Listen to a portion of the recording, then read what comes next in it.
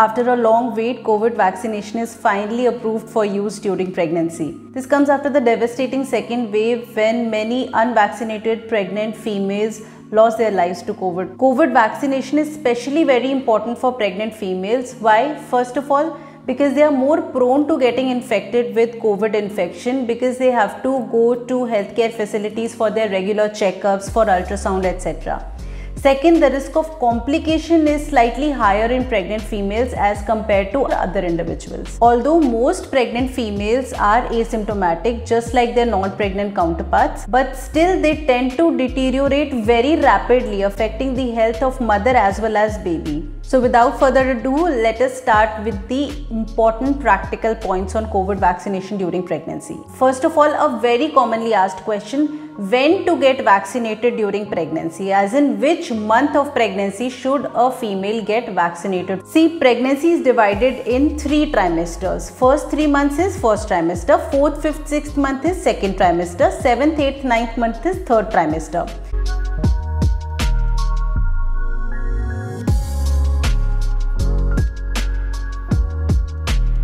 Third trimester is the time when the chance of complication with COVID-19 infection is highest. There are increased risk of preterm delivery if a female gets COVID infection. So the idea is to protect you before third trimester so that you enter third trimester safe.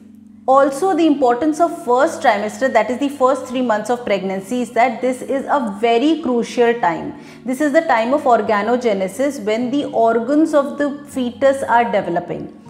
And it is an unsaid rule that we gynecologists don't like to interfere unnecessarily in first three months. Okay there should be no non-urgent intervention in first three months. It should be left untouched. So any vaccine related side effect like fever etc can impact the growing fetus the fetus who is yet to form all its organs. So it is best to take this vaccine after 12 weeks of pregnancy that is after third month. So the best time to take vaccine is 4th, 5th and 6th month. So try to finish both your dosing schedules in 4th, 5th and 6th month. Also, it is important to vaccinate a female, a pregnant female well before 3rd trimester because these antibodies that you produce after vaccination, they help your baby also. So these antibodies are transmitted to your baby and that is how your baby is protected. It may take around 4 to 6 weeks after your second uh, dose for you to make enough antibodies and for the antibodies to be transferred to the baby. Now who all should not get vaccinated? First of all somebody who is already suffering with COVID-19 infection obviously she will not take this vaccine.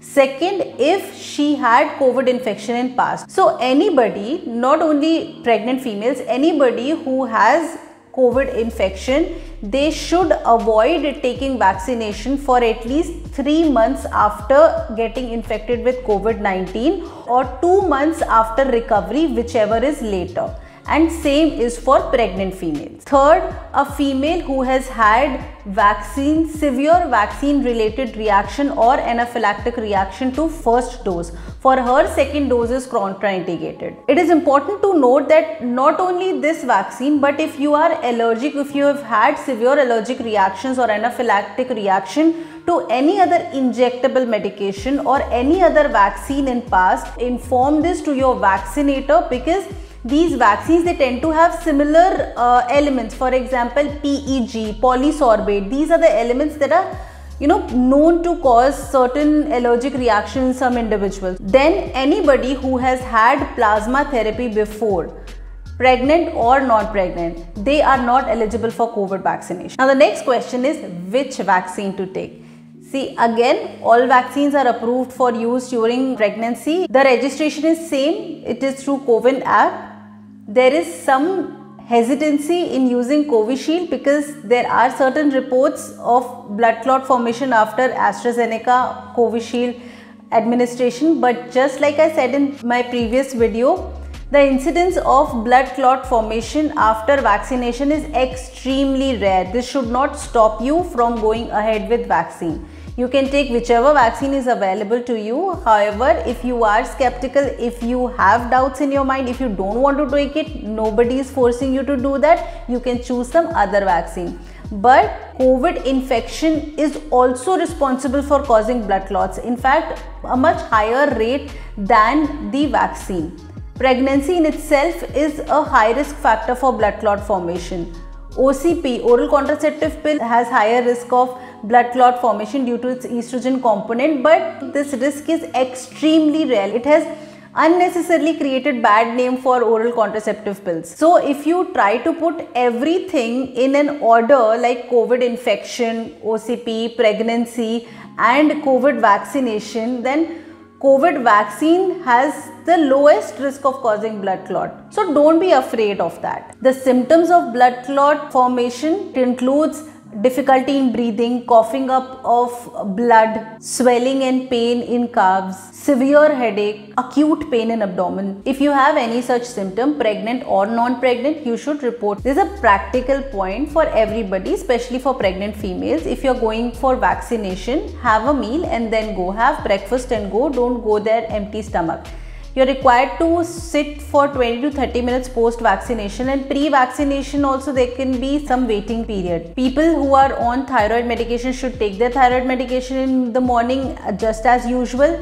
If you are on insulin you should not miss your insulin shot and you should not miss your meals. So basically vaccination should not come in way of your regular antenatal care. What about other vaccinations during pregnancy? See in pregnancy we give tetanus toxoid or tdap shot that should be spaced from COVID vaccination by 14 days. As a matter of fact, if you're taking any vaccine, in the gap between that vaccine and COVID vaccine should be at least 14 days.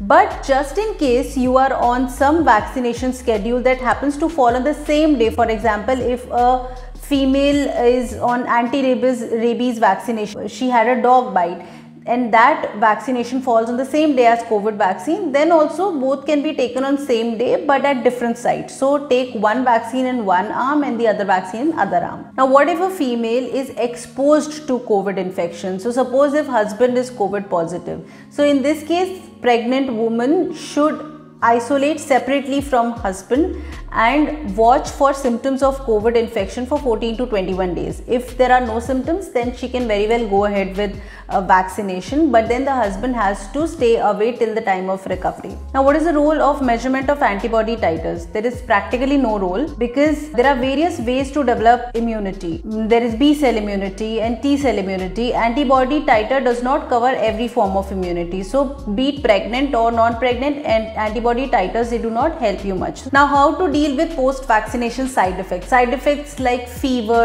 body ache, etc. So this can be dealt with in the same way as we deal with non-pregnant patients. Paracetamol is safe during pregnancy and it can be taken if you have mild fever. First of all, check whether or not you have fever, whether or not you need this medicine. Don't take it unnecessarily. But then there are certain red flags. If you have very high degree of temperature. Okay if the temperature is like 102 103 and it is not responding to paracetamol it is not responding to antipyretics that are that is advised to you if you are taking multiple doses of paracetamol in a single day or if you are perceiving less fetal movement so if you were perceiving normal fetal movements before vaccination and now after vaccination you have fever and your fetal movement count is low then also you have to report to obstetrician. Apart from that if you have any other problem like pain in abdomen etc then you have to report to your obstetrician. So take care everybody. Stay safe and stay well informed. Bye bye